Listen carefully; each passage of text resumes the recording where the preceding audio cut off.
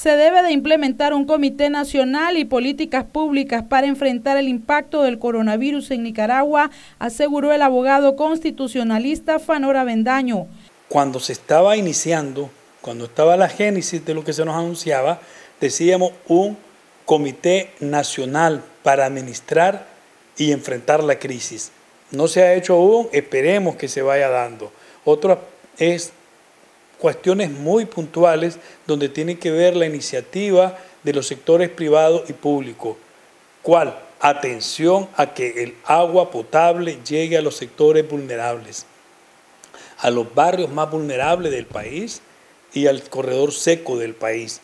El agua va a ser el arma principal para combatir esta pandemia. Y en eso no he visto una política pública inmediata y clara y, también es un llamado a los sectores privados. He insistido en otros medios de comunicación que hay que hacer un inventario de las cisternas, de los pozos, de los recursos acuíferos para atender y eh, poder ofertar de manera gratuita inclusive el agua potable a los sectores vulnerables. Otro aspecto es muy importante es que los medicamentos y alimentos básicos queden accesibles y sin especulación y sin acaparamiento. Algo muy importante también es ver que todas las familias nicaragüenses tengan acceso a la información y a la comunicación.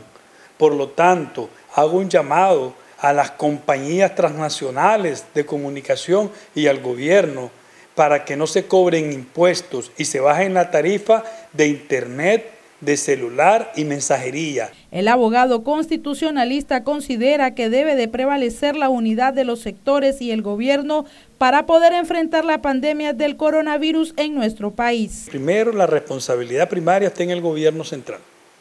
Después todos los demás sectores, incluyendo los sectores académicos, económicos, políticos. Aquí ahorita la agenda número uno es contrarrestar el virus.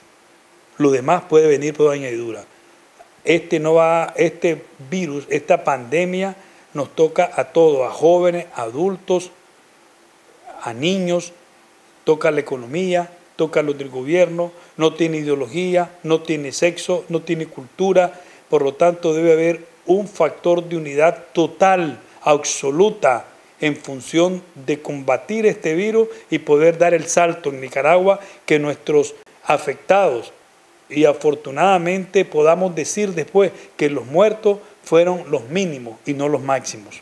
Para Noticias 12, Castalia Zapata.